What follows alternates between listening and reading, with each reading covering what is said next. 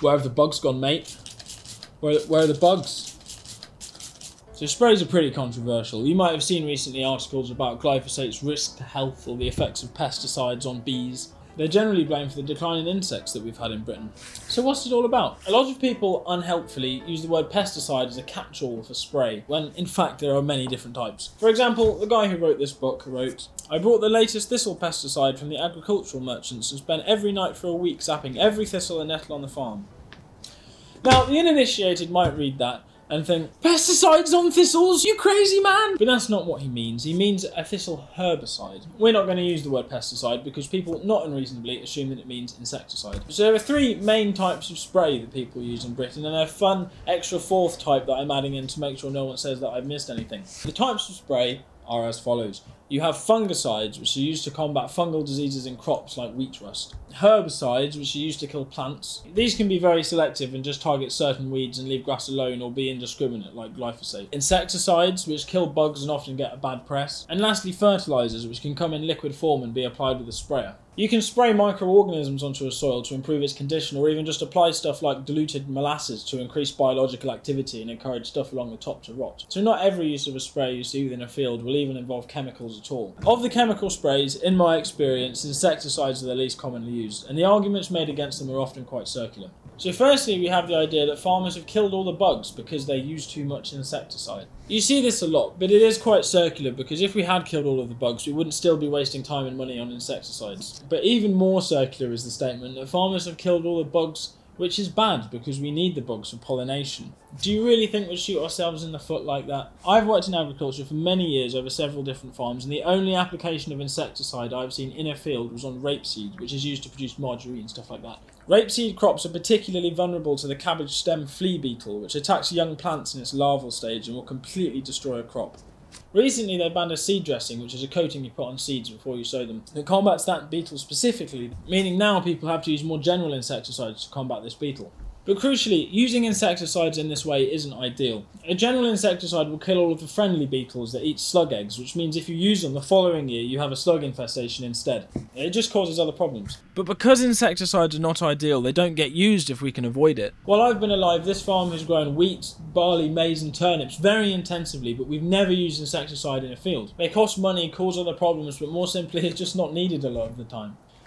We have used this though, which is a type of insecticide, an ectoparasiticide, that you apply to the backs of cattle with a squirty gun, and it protects them from flies that otherwise bother them and can cause nasty eye infections that can lead to blindness. Insecticides are more commonly used in wheat sheds immediately before harvest to stave off any threat of infestation. A fine, even coat will protect from grain mites, which bore little holes in the grains and eat the flour inside. This is quite a contained use, limited to sheds, and I've never heard anybody moan about it. Fungicides are very commonly used on crops but are nothing to worry about if you're not a fungus. Crops have tracks in them called tram lines to allow farmers to spray them without damaging the plants. Generally, if you see somebody spraying an established crop of wheat, say, it will be a fungicide. Selective herbicides are more commonly applied manually with one of these, a knapsack sprayer.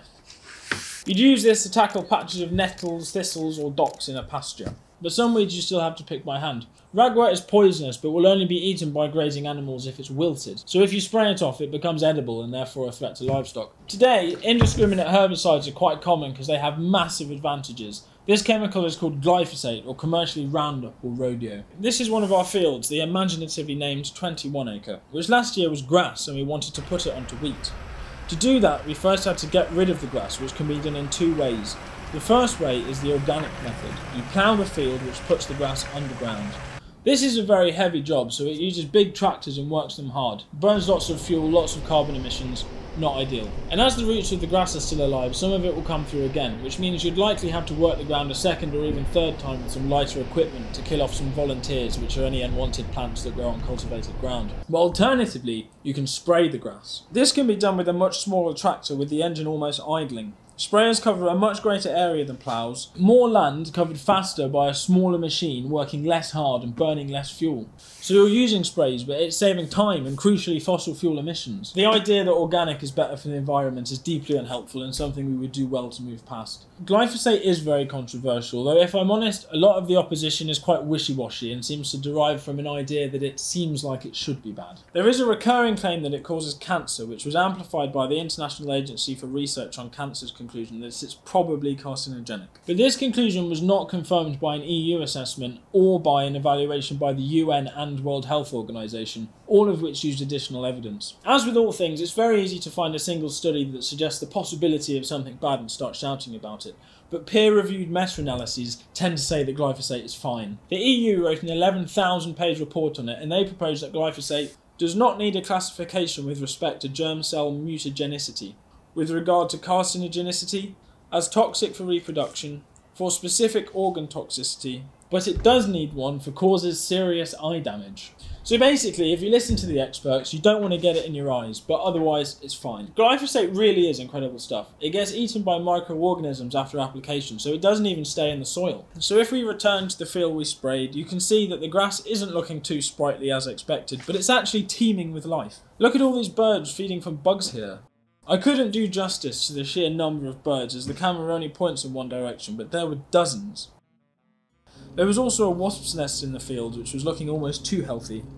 The footage here sucks, but I wasn't about to get out of the cab. When introducing the Second World War, herbicides replaced lots of inefficient practices. Do you have much trouble with uh, thistles and Well, of course, we used to do. My father always used to spud the thistles. There was a terrific amount of thistles here when he bought the farm, and they were always spudded. That's a blade on the end of a shaft, just one at a time. But then, then of course, towards the end of the war, uh, sprays came out. And what we'd been trying to do for 30 years, one hour spraying, kill the lot and the roots and finished them. And that was it. They gradually begin to come back, but thistles are no problem like they used to be. I played that whole clip because it illustrates a very important point, which is that sprays save labour. They're quicker and easier than spudding, so farmers seized upon them quickly. Fungicides also became widespread quickly. This film from 1946, promoting the idea that farming is a respectable profession, explains the importance of sprays. In another class, we were told how plants can get attacked by all sorts of different diseases and pests. And then to follow this up, we learned how to spray fruit trees to protect them from these attacks. There are all sorts of ways in which fruit crops can get spoiled, and the trees had to be sprayed three or four times a year. Now, I don't know much about apples, but I met an apple farmer recently who told me that organic apples use the most sprays. Make of that what you will. The story for insecticides is different, however. Before the war, farmers had spent no money and no time trying to control insect pests, so then when products like DDT became available, farmers were hesitant to spend money where they hadn't needed to before. This article says that the uptake of pesticides in Britain is much slower than is often claimed. The uptake of chemical insecticides during the 1940s and 1950s was slower in many agricultural sectors than accounts have often suggested, and slower than the uptake of other agrochemicals such as herbicides. In essence, application of insecticides was patchy before 1965. Insecticide use was more common by the 1970s, but a lot of that use was to control aphids, which spread fungal disease. So as fungicides have improved, that use of insecticide has become obsolete. The other thing to bear in mind is how small the amount of chemical actually used is. Very selective weed killers have appeared on the market, which uh, some people agree with, some don't. And I know there is the Friends of the Earth and those sort of people are saying that farmers use it too much. But in my opinion, the ground isn't saturated with any poisons at present and doesn't look like being for many years to come because the amount that's actually used of the weed killer is very very small indeed because you see, you see you have to have so much water to get a good cover it looks a lot but in term in chemical terms it is not a lot This is absolutely true. Whatever farmers are spraying, almost all of it will be water. So for one load of that quite heavy dose of glyphosate needed to kill off all that grass, our sprayer takes 16 litres of neat chemical. So the whole sprayer only has this amount of chemical inside it, the rest is water. But I read the label, always read the label, and a lot of what's in this tub isn't actually neat chemical either. The drum as we buy it is only 35.3% glyphosate, which means that the amount of chemical put in our sprayer is actually only this much for the whole thing. It's diluted and very thinly spread. And you need qualifications to apply sprayers. It's not a job that anybody can do, so you can be sure that the maths is being done correctly. Most modern sprayers use satellite navigation to ensure accuracy. We have quite a primitive version, this dome, which has flashing lights in the cab to tell you to move left or right. Most modern tractors have auto steer. You even get smart sprayers that will turn nozzles on and off automatically depending on whether or not that particular patch of the field needs spraying. Precision farming is an impressive thing. I think that because a lot of people don't understand patterns of spray application in British farming, the role of pesticides in reducing our insect population is greatly overstated. The decline of insects on our farm isn't because of insecticides, because we haven't used any. It's got to be something else. Personally, I think it's probably something to do with the fact that warmer winters don't have the cold snaps that are needed to set off genetic triggers in the insect's life cycles. But I am sure we will return to all of this. I just needed to cover sprays so you knew what glyphosate was, because one of the next videos is going to build upon the benefits of it, and it will be magnificent. So stick around.